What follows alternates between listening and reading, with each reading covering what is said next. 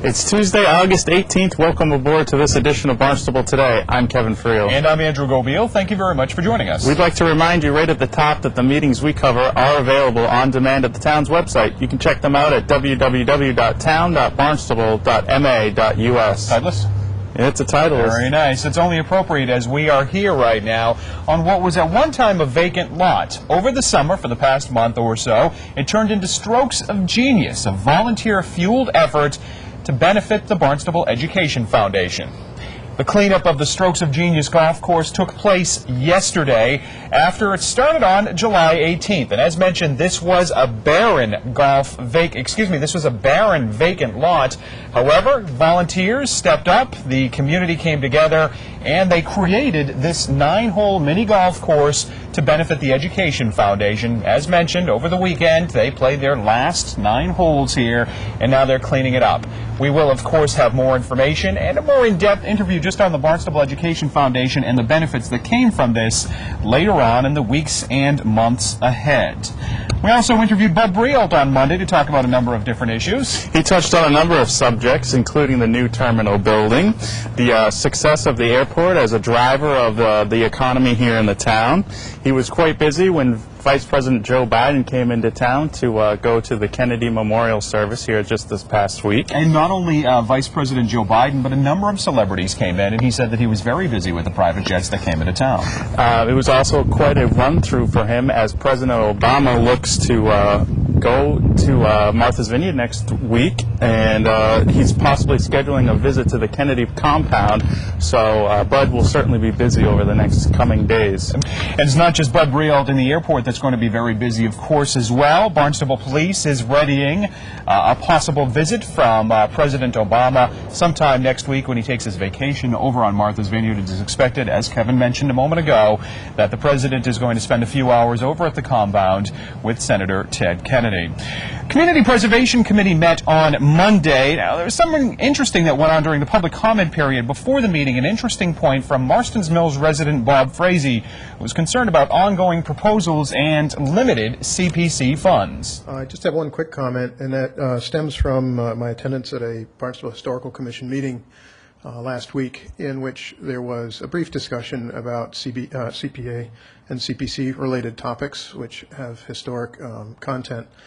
And there was some concern expressed at the time that perhaps uh, this group is considering curtailing some of its expenditures for historic preservation funds in deference to other projects. And I, I understand why that might, that might be necessary. I also understand that funding overall is diminishing in the present economy.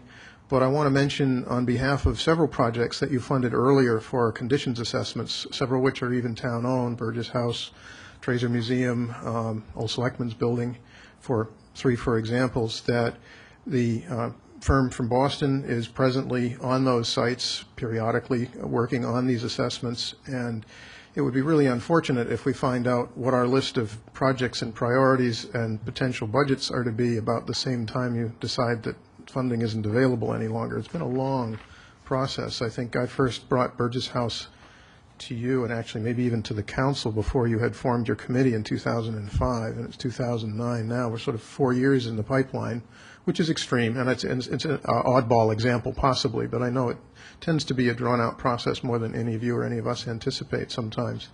And I just hope you'll keep in the back of your minds while you're deliberating that kind of subject, the, the needs that there are for some projects that are underway to actually be able to put some boots on the ground and do some good rather than simply have marching orders.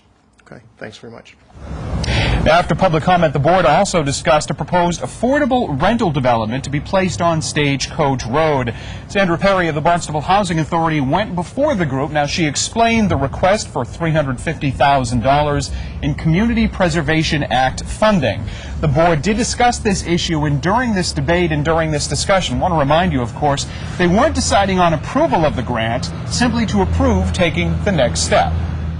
Um, The development is planned for 70 Stagecoach Road in Centerville. We actually have a contiguous parcel at 151 Oak, so we have a total of 6.84 acres of property. Um, Less than 30% is planned for development. We will put the remaining property into a conservation restriction. We're trying to keep this development small in keeping with the neighborhood. We've tried to be very considerate of the neighborhood in planning three buildings with um, one and two-bedroom units. So the development will serve small families and individuals. Um, I'm here today to answer any questions you may have with respect to the project. Just to remind members, this is to approve the letter of intent. We've missed a couple of meetings for lack of a quorum, so this is merely approving it to go to the next step. Questions? Terry? I have one. Uh, Is, what, what is the neighborhood around that? Is it, is it uh, single-family units, It's- residential, correct? It's residential, single-family homes, some are rental, some are ownership. I have one other ahead, go follow-up. right- Do we know right um, eh, the feeling of the abutters uh, on that? Um, We have had one informal meeting. Um, The abutters are not happy about the development. Um, We certainly will go through that process with the abutters when we go through the ZBA hearings and procedures. Anyone else? Marilyn? I think you just answered this, but how many units is it? It's 12 units, and it will be for families and individuals at 60% and below the area median income. Anyone else? I have Go ahead. Another question, Mr. Chairman. Uh, The, the amount that you're requesting Mm-hmm. uh, is, what's the combination of funding? That's, what percentage of funding uh, is the CPA contribution on? Um, The CPA contribution, um, I can't tell you the percentage. The project is estimated to cost 2.8 million. Um, Some of the funding will come from Mass Housing Partnership, some will come from DHCD, um, their small rental development funding program. Um, We certainly will be seeking um, funding from the county home program as well. Um, We have a total of $440,000 is planned for the public equity portion of, um, of the budget, and it will help subsidize the project so that we can help people below 60% of the area median income. Great. So it'd be about 16% of the funding. Thank you. Any other questions? Sue, you got any, and anybody sensing a motion to move this forward? I would like to make a motion that we uh, move this into uh, application. A second. Further discussion on moving this uh, letter of intent to application? Seeing none, all members signify by saying aye. Aye. Aye. Opposed? That's unanimous. Thank you very much. Thank you. So as you saw, the Community Preservation Committee sends that request along to the next step. Now let's take a look at the meetings that are coming up this week.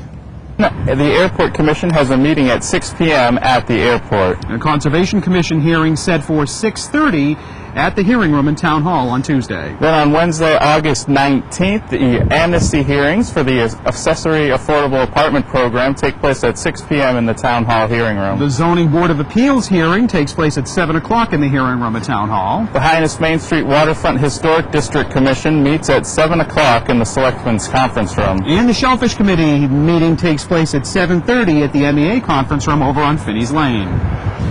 And again, all of those meetings can be found right here on the town's website, town.barnstable.ma.us. Titleist? Titles. Kevin Friel, I'm Andrew Gobiel. Thank you very much for joining and continue to try to hit him straight. This was a challenging golf course. Did you know that? I bet you slayed it.